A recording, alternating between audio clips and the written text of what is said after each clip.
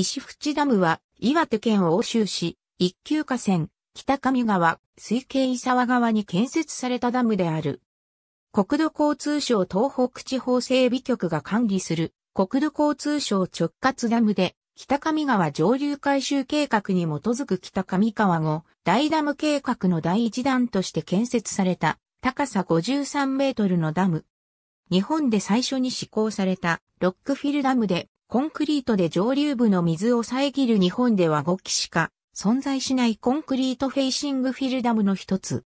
胆沢川、北上川の治水及び、胆沢扇状地への灌漑、水力発電を目的とする多目的ダムであるが、治水、利水機能強化を目的として、ダム下流 2km の地点に胆沢ダムが完成し、石淵ダムは水没した。栗駒国定公園内に位置する、胆沢川上流、中上設理が発達した渓谷を形成している。ダムが建設された伊沢川は、北上川中流部における主要な支流の一つである。栗駒山系を形成する焼け石岳を水源として東南に流路を取り、ダム地点上流で南西より流れ来る前川を合わせ、ダム地点を通過すると、面積約2万ヘクタールにも及ぶ日本最大級の洗浄地、伊沢洗浄地を形成。以後は概ね北東に流れ、欧州市水沢区において北上側に合流し、太平洋へ注ぐ。流路延長は約 48km、流域面積は約320平方キロメートルである。ダムは前川との合流点下流、伊沢洗浄地の船長部に建設された。ダムの名称である石園はかつてこの一帯が猿岩をはじめ巨石や巨岩などによって堅固な峡谷が形成されていたところから石淵屋と呼ばれたことに由来する。また河川名の伊沢については諸説があり、アイヌ語で、イ、沢、または、エサバに由来する説のほか、伊沢洗浄地の砂を、イッサと呼びそれに沢を合体させたとする説、水路を意味する、イと窪地を意味する、沢を合わせた説などがある。しかしいずれも定説になっていない。なおダムが建設された当時の自治体は、伊沢郡若柳村であり、後に伊沢村に合併され、さらに伊沢町に調整施行されたが、平成の大合併に伴い、水沢市、江差市、伊沢郡前沢町、衣川村と合併して、欧州市となり、旧伊沢町域は伊沢区となった。石淵ダム一月高見川後大ダム計画で最初に着工された多瀬ダム。完成は石淵ダムの後となった。東北地方最大の河川である北上川は、岩手県、宮城県を主な流域とするが、中流部と下流部の間、岩手県一関市小前寺から宮城県登米市に至る約 27km 区間は急激に川幅が狭くなる。この小前寺狭窄部の存在と狭窄部より下流における北上側の河川勾配が緩やかなことで、狭窄部より上流部の一ノ関市は慢性的な水害上州地帯であった。北上川流域面積の7割を占める岩手県内で大雨が降ると各支流を経て北上川に到達した洪水は一ノ関市に集まる。この一ノ関市小前寺におけるピーク時の基本、高水流量は毎秒13,600立方メートルであるが、狭窄部は毎秒6,300立方メートルの流下能力しかない。このため狭窄部で処理しきれない洪水が一関市内に淡水する状態となり、古くより洪水の被害に悩まされていた。根本的な解決法は狭窄部の開削による流下能力の増強であるが、約 27km にも及ぶ狭窄部の開削は非現実的であった。当時河川行政を干渉していた内務省は北上川水系における治水対策として北上川改修事業を実施。従来宮城県石巻市にて太平洋に注いでいた北上川本流を津波湾側へ付け替える新北上川改作工事を1934年に完成させ、下流部の流下能力増大を図ったが、一ノ関市北の北上川上流部における治水対策も急務となっておりこれに対応するため1941年より北上川上流改修計画を立案した。この計画は従来の北上川改修事業と異なり、東京帝国大学教授、内務省土木試験所所長の物の部をサオラが提唱し、内務省内務議官であった青山氏が採用した下水統制事業制度に沿った計画であった。下水統制事業は河川に多目的ダムを建設し、従来別個に実施していた治水事業と利水事業を統合することで、効率的な河川開発を行い流域の開発を促進するというものであり、すでに青森県や香川県、山口県、神奈川県といった地方自治体において着手されていた。やや遅れて内務省は北上川をはじめ琵琶湖を含む淀川、由良川、名取川など日本の主要な河川を国直轄改修河川に指定、多目的ダムによる河川開発を開始した。北上川水系では、岩手県内の上流域を対象として、北上川本流と主要な支流である雫石川、和賀川、猿返し川そして伊沢川に多目的ダムを建設して、洪水調節を図り、一関市には大規模な遊水池を建設して、洪水を貯留することで、治水安全度を向上させる計画とした。これに基づき同年には、猿返し川に、猿返し園庭、後の達セダムが着工されたが、太平洋戦争の激化により資材確保がままならなくなり、1944年の小磯内閣による決戦非常措置要領の発令もあって事業は中断した。終戦を迎え日本は極度な食料不足に陥り、1946年5月19日の食料命令など国民の不満が顕著となった。食料増産が喫緊の課題となった政府は河川開発に関して灌漑施設拡充による食料増産を目論み、1948年には国営農業推理事業制度を発足させるなどの対策を講じた。北上川流域は、江戸時代より一大国葬地帯として、稲作が盛んであったが、北上川本流は、松尾鉱山より流出する、強酸性の高内水により、下水の酸性度が高く、農業用水には不適当であった。このため支流の河川を開発して灌漑用水を整備して農地拡大を図り食料を増産する方針が取られ、1945年より国営事業として山王海ダムの建設が滋賀郡で開始された。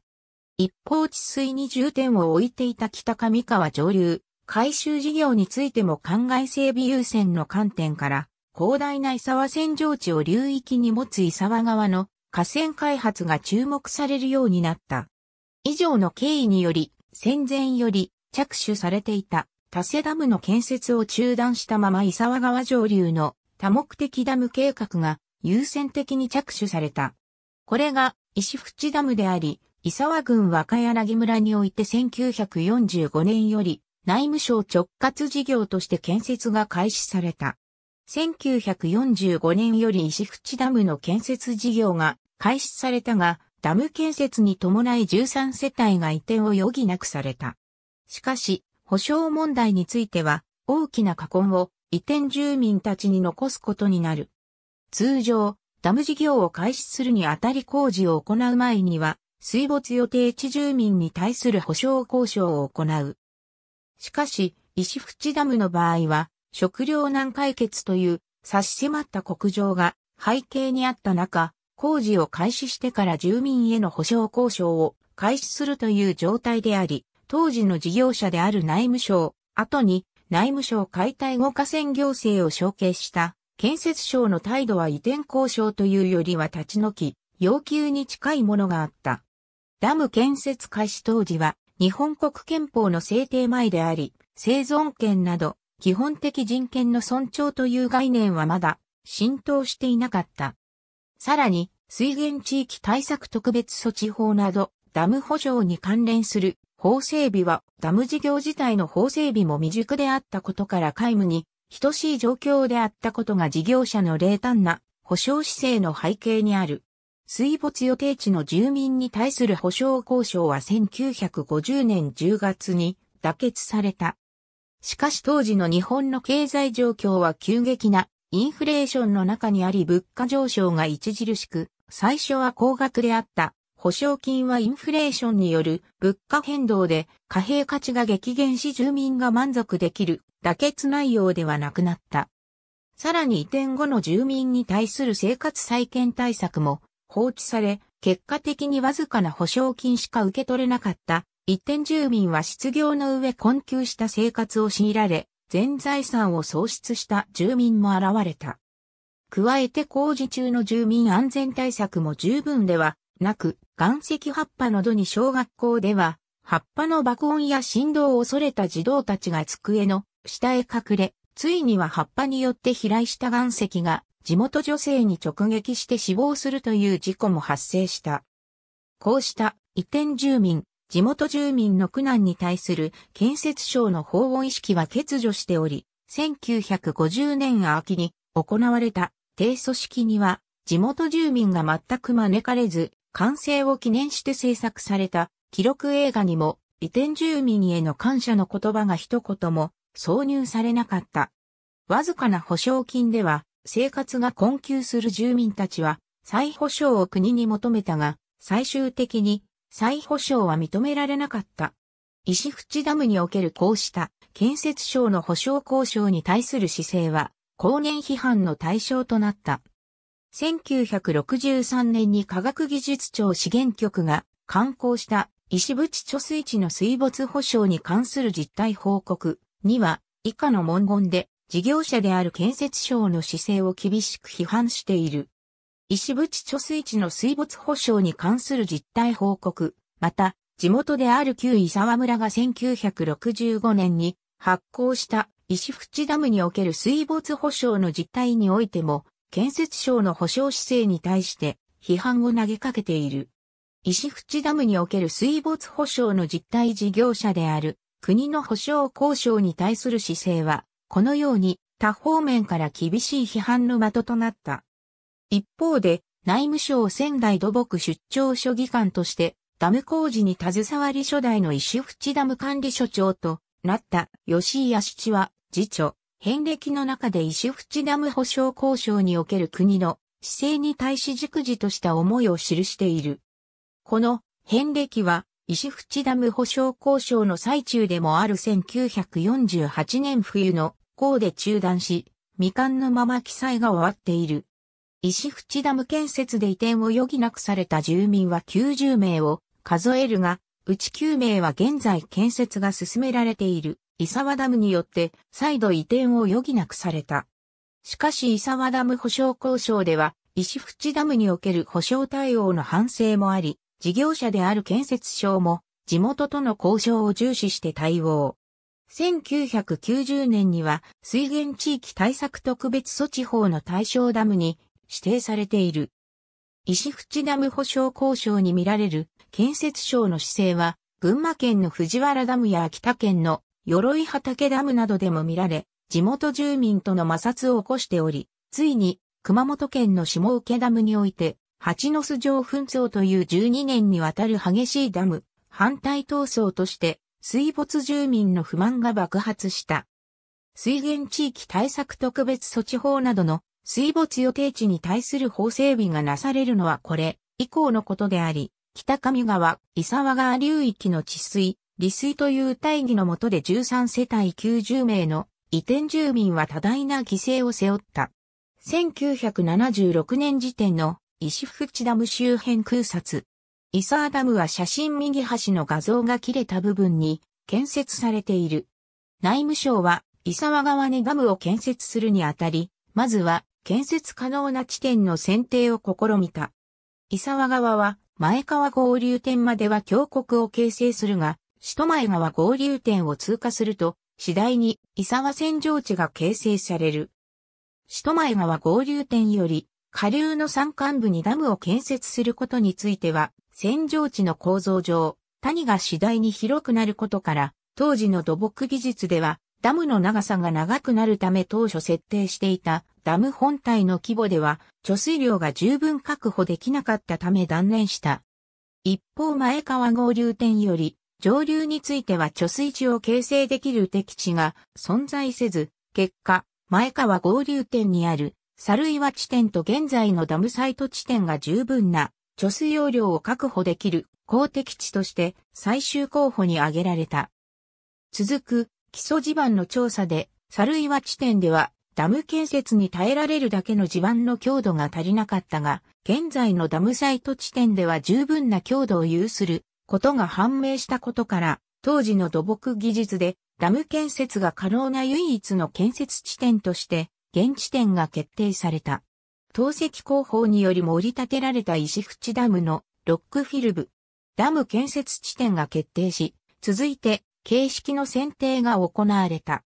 石淵ダムは北上川上流改修計画の立案当時は重力式コンクリートダムとして計画されていたが、戦後の特殊な事情によって形式の変更を余儀なくされ、結果的に日本では最初となるロックフィルダムの施行となった。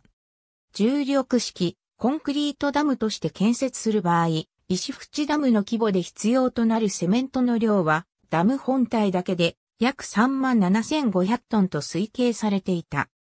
だが、太平洋戦争の影響で1946年当時の日本国内におけるセメント生産量は計画当時の約605万トンに対して6分の1弱にあたる約93万トンにまで減衰しており、その用途も新中軍用あるいは戦災復興用の資材として優先利用されていたためダム建設に回せるだけの余裕がなかった。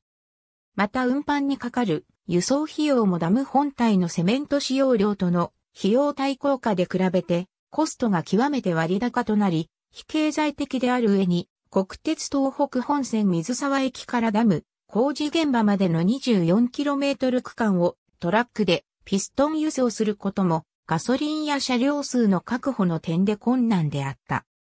一方、ロックフィルダムの場合は日本では当時全く施行例がなかったものの、ダム付近の地質が風化に乏しい良質な石英安山岩で、かつ葉っぱにより大量の岩石が採取可能で工事現場からも至近距離に位置することから、セメント量と輸送コストの節減が期待された。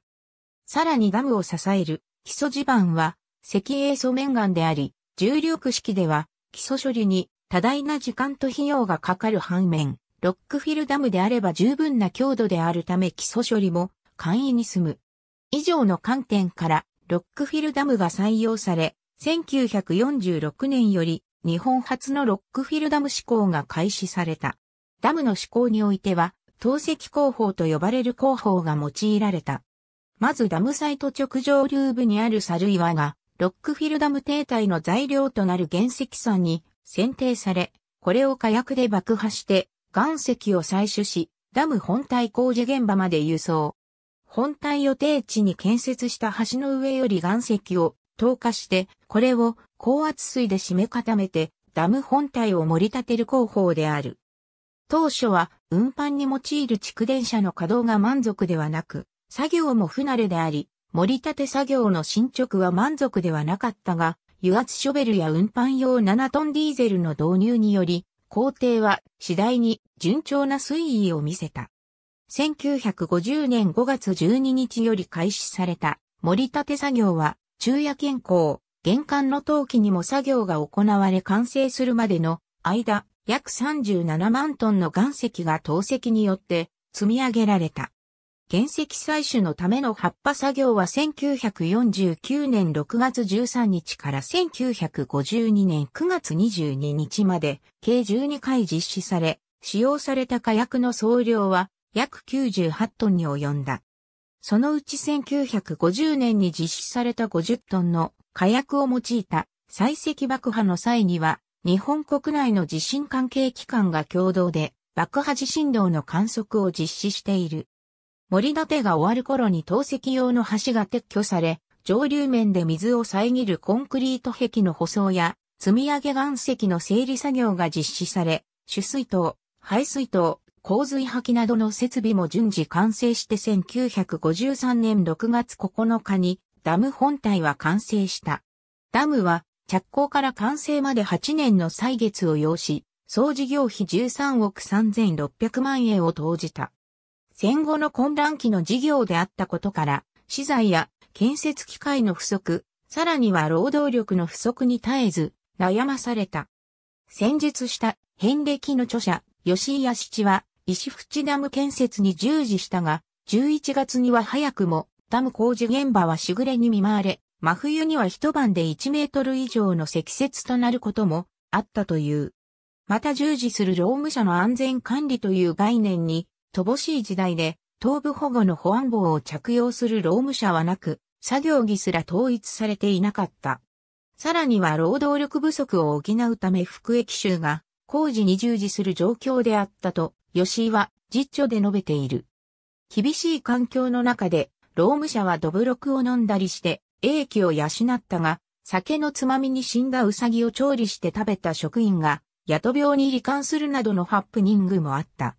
こうした厳しい労務環境の中で、延べ181万人の労務者が建設に従事し、ダムは完成する。石淵ダムのコンクリート表面遮水壁。こうして、日本において最初に施行されたロックフィルダムである石淵ダムは完成した。しかし、岐阜県が木曽川、水系くくり川に建設した小淵防災ため池が石淵ダム完成の前年、1952年に完成しており、石淵ダムは完成例において日本で最初になることはできなかった。だが、石淵ダムを出発点として日本のロックフィルダム技術は発展し、三幌ダムや九頭竜ダム、徳山ダムなどといった大規模ロックフィルダムの建設につながってゆく。石淵ダムの特徴は、ダム本体上流部のコンクリート舗装部が貯水を遮り、ダム本体内部への水の浸透を防ぐ遮水壁となっていることである。これをコンクリートフェイシングフィルダム、またはコンクリート表面遮水壁型ロックフィルダムと呼び、英語の頭文字を取って CFRD と略される。日本では石淵ダム、小淵防災ため池のほか1956年、群馬県に野反ダム、1963年には秋田県に皆瀬ダムが建設された。しかし当時は、ロックフィルダムの締め固め技術が現在のように進歩しておらず、本体締め固め不足による不均等な停滞陥没やクラックと呼ばれるひび割れなどが発生しやすく、その対策も未確立だったため水瀬ダムの完成以降しばらく新規の施行例はなかった。移行日本におけるロックフィルダムの施行は、ダム本体中央部に不透水性の粘土などを用いて、遮水壁を形成する中央土質遮水壁型ロックフィルダムが主流になり、伊沢ダムもこの形式を採用している。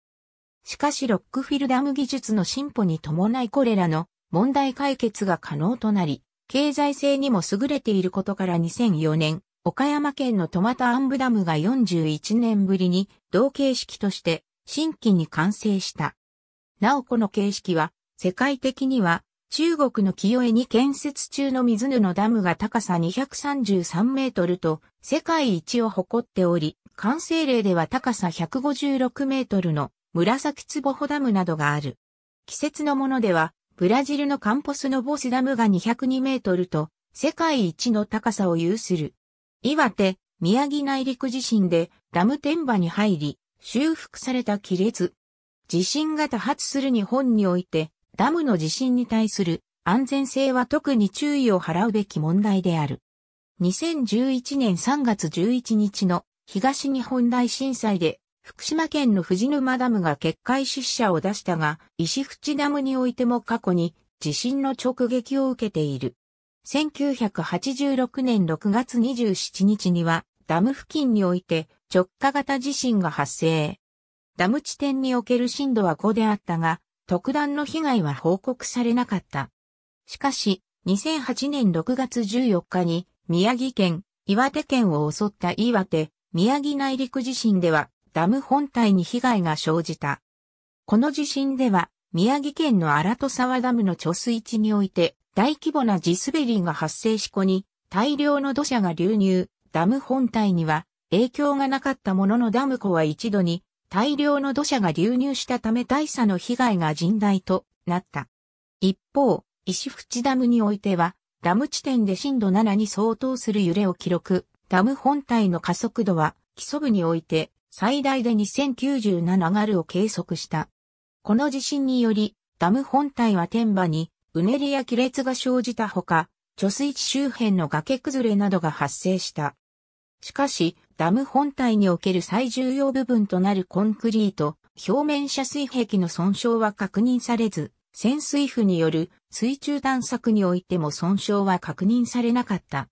管理する国土交通省東北地方整備局は対策本部を設置し石淵ダムの緊急放流を開始して貯水池の水位を下げ、損傷箇所の修復を行った。修復後貯水を通常の水位まで戻してダムの状態を確認する安全確認試験を実施し、異常が認められなかったことから翌2009年1月21日に通常の管理体制に戻した。藤沼ダム決壊を引き起こした東日本大震災では天場に亀裂が生じたものの、岩手、宮城内陸地震ほどの損傷はなく、ダムの安全性には影響がなかった。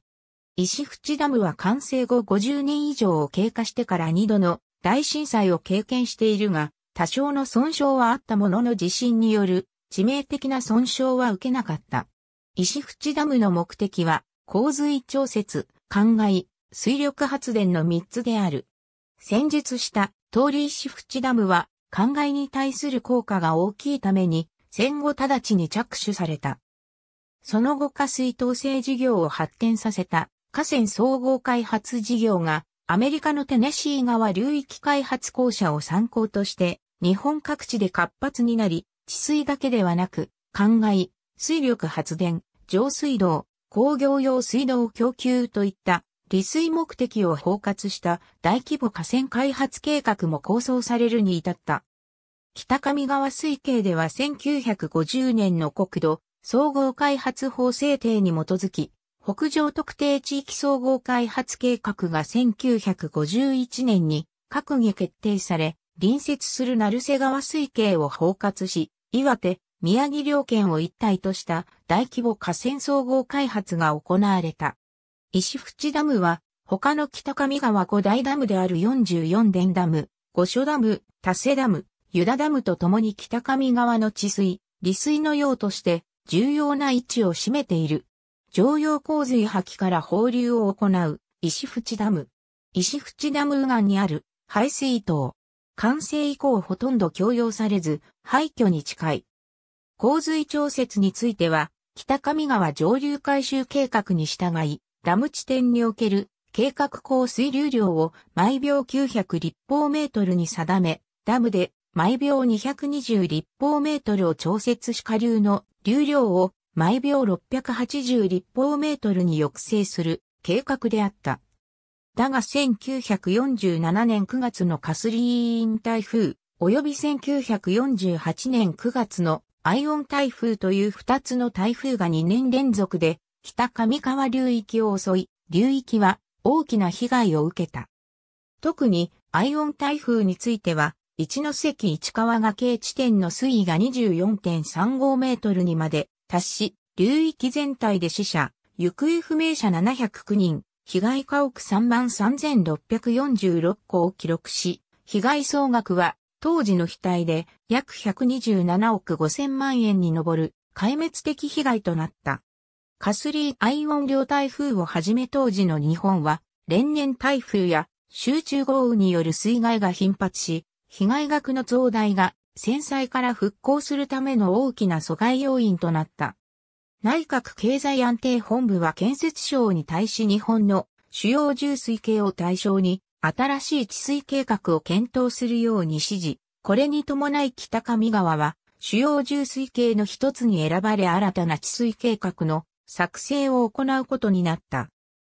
1949年に成立した北上川上流海底改修計画がこれにあたり、従来の北上川上流改修計画で定めたピーク時の基本高水流量を改定したものであるが、カスリーン台風時の洪水を基準に毎秒9000立方メートルに改め北上川後、大ダムで毎秒2000立方メートルを調節、前川洪水調節地で毎秒700立方メートルを調節することで、調節後の流量を狐禅寺橋作部の流化能力である毎秒6300立方メートルに抑制する方針とした。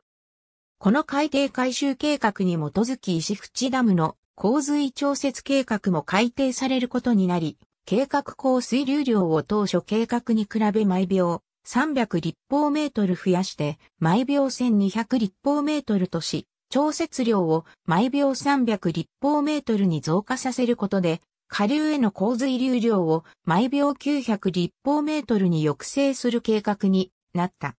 石淵ダムは以降後大ダムの一角として伊沢川のみならず、北上川治水に重要な役割を担っている。1959年の伊勢湾台風において、初めて本格的に実施されたダムの洪水調節で、あるが、ダム湖に流入した洪水で過去最大の流量を記録したのは1988年8月29日に記録した前線と低気圧に伴う大雨による洪水であり、ダム地点では毎秒1077.9立方メートルという計画降水流量に近い流量となった。この時ダムは毎秒675立方メートルと計画調節量の倍にあたる洪水調節を行い、下流の洪水被害を軽減している。石淵ダムには放流を行うための洪水破棄に6門のゲートが備え付けられている。中央には通常の放流に使用する常用洪水破棄ゲートが2門、その両脇には計画を上回る洪水時に使用される非常用洪水破棄ゲートが左右、各2門設置され、6門のゲートが横一列に並んでいる。ダム左岸には取水塔があるが右岸にも取水塔に似た建物がある。これはダム建設時及び完成後に排水を行うための排水塔であるが、完成後使用されることはほとんどなく廃墟に近い佇まいを見せている。伊沢第二発電所の取水堰である若柳園庭。ここから二方向に農業用水が伊沢洗浄地へ供給される。若柳園庭からの導水を寿庵石、重浦石へ公平に分水する円筒分水口。石淵ダムの目的で最も重視されたのが伊沢洗浄地への考えである。日本最大級の洗浄地である、伊沢洗浄地は古くは、蝦夷の根拠地としてアテ類などが朝廷に抵抗し、坂の上の田村麻呂による蝦夷政党後は、伊沢城が築かれ、陳樹府が移転する重要な地であった。俗日本紀、延暦8年の城に、伊沢洗浄地は文献上所出するが、水と土地が豊かという意味の水陸一万頃と表現され、工場の土地として認識されていた。他の洗浄地に比べ堆積する土砂が比較的薄いこともあり、地下水の汲み上げが容易だったため三居集落が各所に形成され、富山県の砺波平野や島根県の出雲平野とともに、日本三大三居集落に、伊沢洗浄地は挙げられている。だが、基本的には、洗浄地であるため水の瓶は悪く、古くより考えのための努力が続けられた。伊沢川における最古の考え事業は、約500年前に建設された穴山関とされ、現在の石淵ダム直下流よりトンネルを通じて、洗浄地上部へ水を供給する目的で建設された。ついで1570年代には、北郷重平という女性が、洗浄地北部に農業用水を供給するため重平関という用水路を建設したと伝えられている。江戸時代に入ると、伊沢洗浄地は仙台藩の領地となり、仙台藩主、伊達政宗の家臣である後藤久志庵は、ヨーロッパの技術を用いこと武器安石という用水路の建設に着手したが、キリシタンであったこと武器庵は1623年に迫害を恐れ逃亡。遠藤大学、千田様が後を継いで1631年に完成させ、戦場地中央部の考えが図られた。また、戦場地南部は、同じ伊達市の家臣である、芦名森信、重信節が二の大関の改作に着手。ハリセ芦名市、一族五代により、北又川より取水する、用水路を建設し、戦場地南部の考えが図られた。この世に用水路整備により、伊沢戦場地は、仙台藩内でも屈指の国葬地帯となったが、干ばつになれば、水の供給が滞り水争いが頻発した。このため、戦場地の住民にとって安定した農業用水の供給は悲願であった。石淵ダムは、伊沢戦場地における安定した農業用水供給を目的としているが、ダムの水は大きく分けて3つのルートで戦場地へ供給される。一つは、ダム直下流にある穴山投資港より取水し、旧穴山関に相当する穴山幹線水路を介して戦場地上流部へ供給するルート。二つ目はダムから伊沢第一発電所、伊沢第二発電所経由で、ことぶき安関、重浦関幹線水路を介して、戦場地北部、中部へ供給するルート。三つ目は、伊沢第二発電所の取水関である、若柳園庭より西南部幹線水路を介して、戦場地南部へ供給するルートである。このうち、ことぶき安関、重浦関へ供給するルートには、ダム完成後の1957年農林省による国営伊沢川農業水利事業の一環として、遠東分水溝が建設され、両席に平等な用水供給を行い水争いを未然に防いでいる。石淵ダムによる灌漑樹液地は、欧州市伊沢区、水沢区、前沢区と伊沢郡金ヶ崎町の一市一町が対象であり、灌漑面積は当初9700ヘクタールと戦場地の約半分であったが、その後田畑の減少により現在は8498ヘクタールが灌漑の恩恵を受けている。慢性的な水不足から解放され安定した水供給が可能となり、水争いが根絶された伊沢戦場地の樹液住民は、保温の意味を込め、伊沢平野小歌という小歌の一節に石淵ダムの名を入れている。伊沢平野小歌電源開発伊沢第一発電所。岩手県企業局伊沢第二発電所。水力発電については、電源開発が管理する伊沢第一発電所と岩手県企業局が管理する伊沢第二発電所が建設され、両発電所合計で 2800kW の電力を発電している。両発電所は1951年の北上特定地域総合開発計画で、北上川水系の開発に水力発電が加わったことで計画が具体化された。治水対策の遅れ、食料不足に加え電力不足も戦後の混乱期には大きな問題となっており、空襲による発電施設の破壊や、季節発電所の施設老朽化、火力発電に使用する石油、石炭の不足などに起因する電力需給バランスの崩壊は度重なる停電をもたらしていた。経済発展及び治安上電力の安定供給も喫緊の課題であり、戦後日本各地の河川でダムによる水力発電開発が計画され、河川総合開発事業の一翼を担っていた。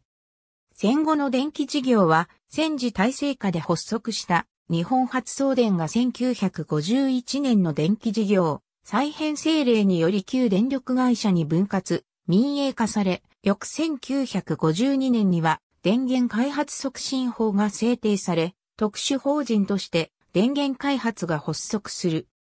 同社の根拠法である電源開発促進法の第13条第2項には電源開発が行うべき開発地点の条件が記されているが、この中の2番目に国土の総合的な開発、利用及び保全に関し特に考慮を要する北上川、その他の河川等にかかる電源開発という条目が明記されていた。また、地方自治体による公営発電事業も盛んになり、岩手県は1952年1月土木部に企業局の前身となる県営発電事務局を設置して県営発電事業を開始した。こうした経緯により電源開発と岩手県企業局は発足と同時に北上特定地域総合開発計画の水力発電事業に参画し、直ちに石淵ダムの電気事業者として伊沢第一第二発電所の建設に取り掛かった。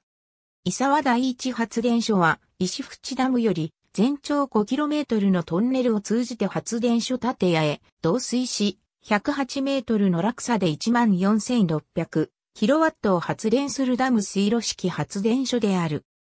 1954年1月に運転を開始するが、後年日本最大の一般水力発電所となる奥多摩発電所をはじめ佐久間発電所、三幌発電所など大規模水力発電所を要する電源開発が手掛けた最初の発電所が伊沢第一発電所であり、発電所内には第二代総裁である小坂淳三の記号による額が飾られている。一方伊沢第二発電所は岩手県企業局が最初に手掛けた発電所として1957年10月に運転を開始するが、伊沢第一発電所から放流された石淵ダムの水を下流に建設した若柳園庭で取水して発電するもので、最大 6200kW を発電する水路式発電所である。発電に利用された水は、遠東分水港に送られことぶき安石、重浦関に農業用水として供給されている。電源開発は、その後ろ出せダムの発電事業に参加している。また、岩手県企業局は、北上川五大ダムの残り3ダムと建設中である、伊沢ダムの水力発電事業を及び北上特定地域総合開発計画に、基づき農林省が施行した岩道ダムの水力発電事業、冷え抜き川の早知根ダムや夏、油川の入畑ダムといった補助多目的ダムの水力発電事業に参加している。このため、岩手県内の北上川水系に建設された多目的ダムの電気事業者は、電源開発と岩手県企業局が占め、東北電力は関与していない。こうした例は、利根特定地域総合開発計画で、利根川水系に建設された国土交通省直轄ダムや水資源機構管理ダムでも見られている。現在、石淵ダムの下流には、伊沢ダムが建設されている。2013年に完成すると、それまでになっていた役割を、伊沢ダムへ引き継いで、石淵ダムは60年にわたるダムとしての使命に幕を閉じる。石淵ダムの完成により、伊沢川の治水安全度は向上し、伊沢洗浄地における灌漑は、ダム建設前に比べ飛躍的に安定した。ダムによって安定した農業用水が図られたことで、伊沢洗浄地における新規開墾農地面積は拡大し、特に稲の作付け面積と収穫量が増加した。しかし、農地面積の拡大と収穫量の増加は、次第に石淵ダムで当初予測していた供給量を超える取水量となり、受給のバランスが崩れ、渇水時には再び、伊沢洗浄地が水不足に陥る事態が発生するようになっていった。また伊沢川は小規模な洪水が多く、ダムでは洪水調節のための放流が頻繁に行われており、1963年末までの最盛期には年間200から350回近くの放流操作が実施されていた。こうした受給バランスの不均衡や放流操作の多さに対して樹液地である地元を中心に石淵ダムをかさ上げして治水、利水能力の増強を求める声が上がり、1967年には石淵ダムかさ上げ推進規制同盟会が結成され、石淵ダム再開発事業の実施を建設省に要望した。石淵ダムは北上川五大ダムの中では最も総貯水容量が小さく、ダム自体の能力を増強することが増え続ける水需要と治水安全度の向上に対応するためには必要と考えられたことが会の結成に至った理由である。同盟会発足の2年後、建設省は石淵ダム再開発事業として新石淵ダム計画を発表し石淵ダム下流約 2km に新ダムを建設するための予備調査を開始した。しかしその後も水不足は進行し1984年以降は例年のように取水制限が頻発、特に1994年には48日に及ぶ取水制限が実施された。こうした需給バランスの崩壊は、伊沢川の流量にも影響を及ぼし、供給量を上回る取水によって伊沢川は夏季になると水の流れない枯れ川になることがしばしばであった。石淵ダムには河川の流量を維持する水の補給目的がなく、ダム下流から 20km 区間が枯れ川となり、生態系など河川環境にも影響が出るようになった。これに加え、東北自動車道や東北新幹線の開通は、沿線となる水沢やエッサ市の人口増加につながり、上水道、下水道や電力の需要も増大するという状態であった。放流操作についても最盛期よりは減少したものの1990年末までの年間平均で68回の放流を行っている。このように石淵ダム計画時には想定されなかった治水、利水における新たな問題が歳月とともに顕在化した。水需要の増加に対応するための対策として1969年より新石淵ダム計画の調査が進められ、調査開始から14年を経た1983年4月に、伊沢川総合開発事業として正式な事業に採択され、ダムの高さを116メートルに大幅なかさ上げをする計画となり、1988年4月より建設事業に着手したが、事業着手時に地元の要望を受け新石淵ダムの名称は改められ、伊沢ダムとなった。本体がほぼ完成した伊沢ダム。石淵ダム天場より望む伊沢ダム。水没住民との保証交渉は長きにわたったが1992年2月に保証交渉が妥結、以降本格的な建設が開始され岩手、宮城内陸地震による被害を受けつつも2011年には本体盛り立てがほぼ終了した伊沢ダムは洪水調節、灌漑、水力発電といった石淵ダムの目的に加えて、伊沢川に安定した流量を供給して枯れ川を防ぎ河川生態系を保護、維持する不特定利水、及び、欧州市衣川区を除く4区と金ヶ崎町への上水道供給という2つの目的を新たに追加した特定多目的ダム法に基づく特定多目的ダムである。その規模はダム自体、貯水池いずれにおいても石淵ダムを大幅に凌駕する規模となり、東北地方最大級の多目的ダムとなる。2012年冬には、伊沢ダムはダム本体にかかる工事を終了し、試験的にダム湖に貯水を行う試験淡水を開始する。石淵ダムは2012年度の灌漑供給期が終了すると同時にダム管理業務を終了し、以後は洪水破棄ゲートなど放流設備や管理施設などを撤去して試験淡水に備える。そして伊沢ダムに水没した後は上流からの流砂を貯留する、貯砂ダムとして、湖中で新たな機能を果たすようになる。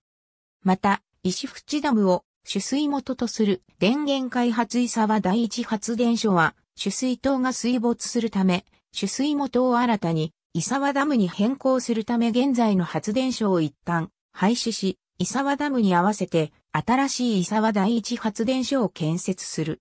出力は 400kW 減少し 14,200kW になる予定である。伊沢ダムのように既存のダムを水没させて、ダム機能を大幅に増強させるダム再開発事業は、ダム建設地点が次第に枯渇してゆく現状において、日本各地で実施されている。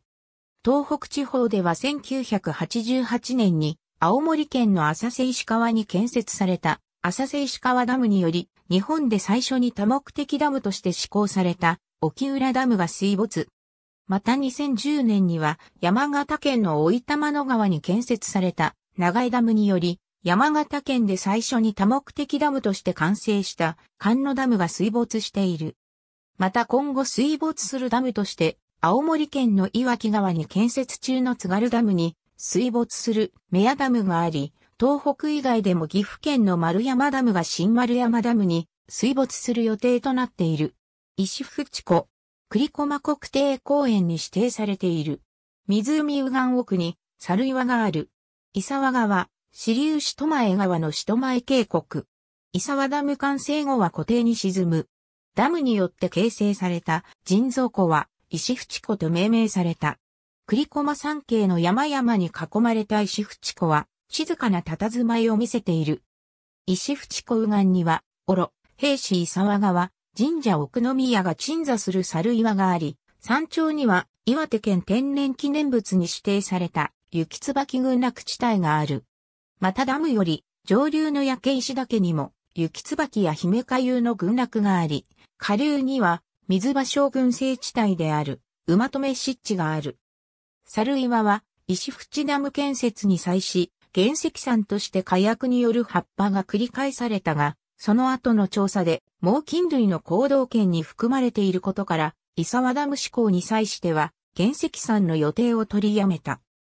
石淵湖に飛来する鳥類は大鷹、熊鷹、刺し場などの猛禽類や岩ツバメ、フクロウ、カワセミのほかコ白鳥をはじめとした水鳥など、多種多様の鳥が飛来することが2002年に国土交通省の河川水辺の国勢調査により明らかになっている。1968年7月22日には石淵ダム、石塩湖が焼け石岳などとともに栗駒国定公園の指定を受けている。また、ダム下流には縄文時代前期の成立と推定される環状集落、大浸水場遺跡や約500年前に建設されたと考えられている旧穴山関の水路、水道といった歴史的に貴重な文化遺産があるほか、ダム直下流で伊沢川に合流する人前川には、伊沢川合流点付近に発達した中上設理によって形成された人前渓谷といった景勝地もある。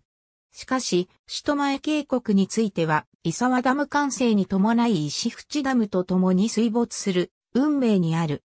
またかつては、ダム直下流岸に、人前温泉があり、ホテルも営業していたが、伊沢ダム建設に伴い現在は、建物が撤去されている。石淵ダムへは、公共交通機関であれば、JR 東北本線、水沢駅、または、東北新幹線、水沢江差駅が最寄りとなる。水沢駅からは岩手県交通バスバ流線に乗車し終点の姫、上スキー場バス停を下車すると、伊沢ダム手前に到着する。そこからは徒歩、またはタクシーで石淵ダムへ向かうことになる。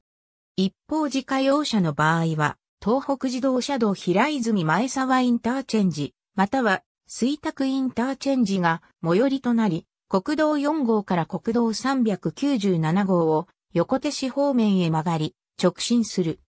伊沢ダム建設に伴う付け替え国道に入り、伊沢ダム通過後トンネルを抜けると、石園ダムの看板が見えてくるので左折し直進すると、旧国道に入り、ほどなくダムに到着する。ダムへの立ち入りは洪水発揮上部までであり、ロックフィルダム部は立ち入り禁止である。またダム直下流にはダムを下流から一望できるアーチ橋の首都前橋がかかるが、岩手、宮城内陸地震と東日本大震災の影響で崩壊の危険性があり、通行止めとなっている。このため、猿岩水道方面には進むことはできない。ウェブサイト及び PDF のリンクについては、出展の節に掲載。ありがとうございます。